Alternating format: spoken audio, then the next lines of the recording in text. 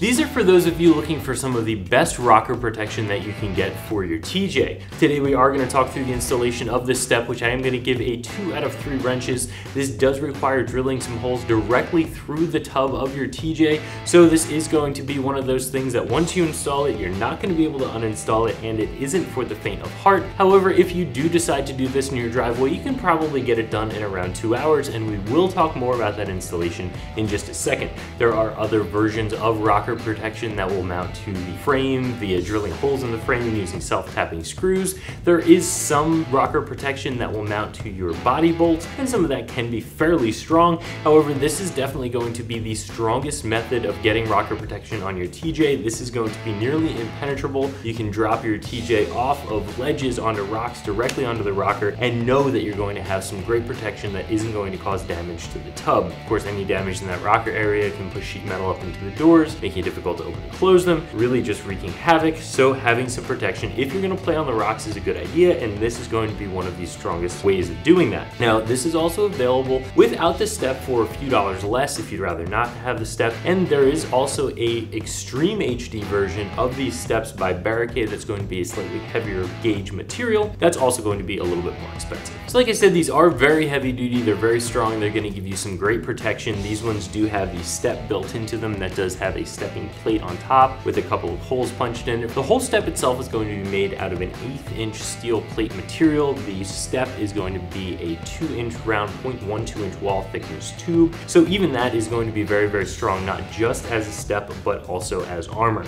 As for the install, again, I'm giving it a two out of three wrenches because you're drilling directly through your body. This isn't something that you can just take them back off again. It's not easily reversible, and you are going to want to measure once, twice, three times or more before drilling those holes to make sure you get it right. So the first step in the installation is really going to be getting rid of any other side step or rocker armor that you might have and also removing those mini flares that are going to be attached to the side of your Jeep. Then there are a couple of body bolts that you'll want to loosen up and this is an area that you will want to be careful with if you have an older TJ that you haven't ever removed the body bolts from before. You can actually spray the top of the body bolts, spray the thread area with a penetrating oil, get the body bolts loosened up, and then you can actually slide this bottom plate into position underneath the body bolts between the tub and the frame where it's actually going to sit. And that's going to index the rest of your rocker for you. You can use a jack, you can use some jack stands, however you need to to make sure that this thing is held exactly where you want it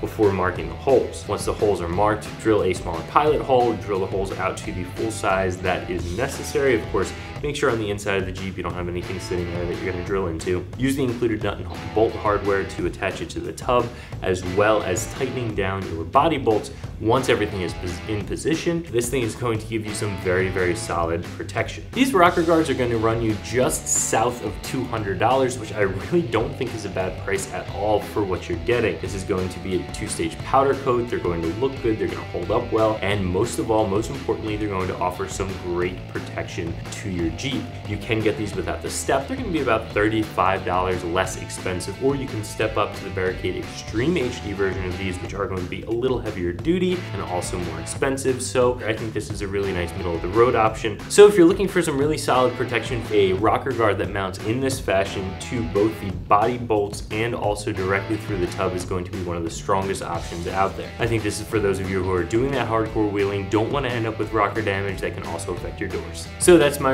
review of the Barricade rocker guards with step fitting your 1997 to 2006 TJ that you can find right here at extremeterrain.com.